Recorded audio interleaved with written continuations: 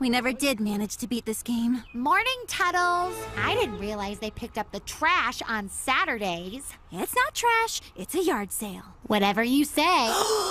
Is that a retro Moneycraft gaming system?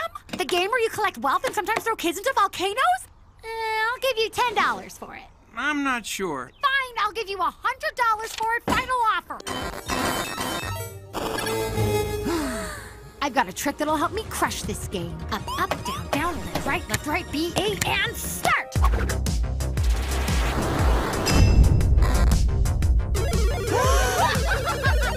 Infinite money glitch! So the little twin boy and girl characters attacked you? Well, in a way, they changed the money to some highly secure peer-to-peer digital money. Peer-to-peer digital currency. That sounds a lot like... I had no idea I was making the prices go up.